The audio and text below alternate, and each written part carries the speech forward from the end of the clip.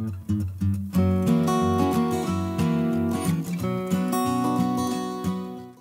quilty friends, I'm Natalia Bonner and I've got another fun not machine quilting video to share with you today. So I am just like any other quilter, even though I've been doing this a long time and should never have this problem happen.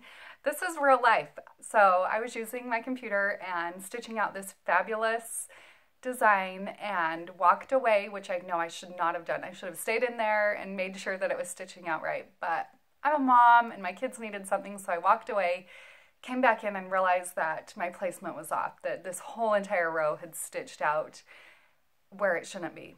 And it's not acceptable. It wasn't a design where I could just fix it or add something into it. It had to be taken out. There was no option to it. So as I was unpicking and taking out the stitches, I thought, you know what? I can unpick pretty quickly. I'm pretty fast at this and why not share with you how I do that, how I my technique for unpicking. So that's what this little video is today and I hope that you find a little bit of inspiration in it, you know, next time you have to unpick something, I hope this helps. So this is for unpicking machine quilting. So the tools that you'll need are your hands and a seam ripper.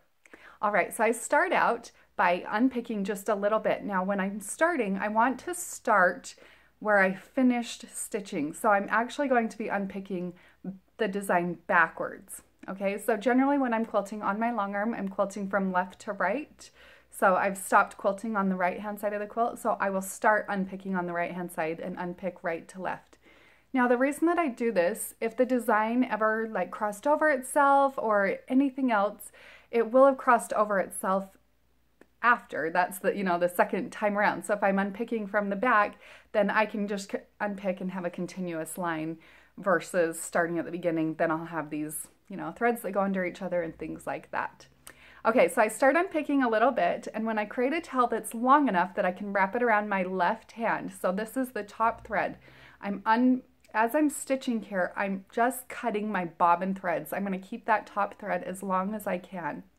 So you'll see in the video, what I do is I'll get the top piece long enough that I can hold it in my left hand, and then as I'm going, I'm wrapping that thread around my fingers, just kind of holding onto it, creating a little bit of tension.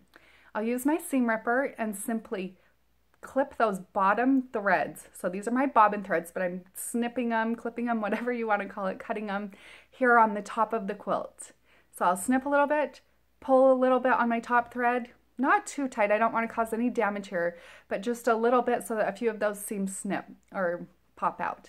And I'll continue doing this, you know, popping those, cutting those bottom threads on the top, pulling a little bit, popping, pulling a little bit until I have all my stitching out. So this whole row right here was this Baptist fan design. I actually unpicked the whole entire row in about 15 minutes. Considering how long it can take to unpick stitching, I think it was pretty awesome and pretty quick. So I hope this video inspires you to do the same thing and try it out. Have a great day, everybody.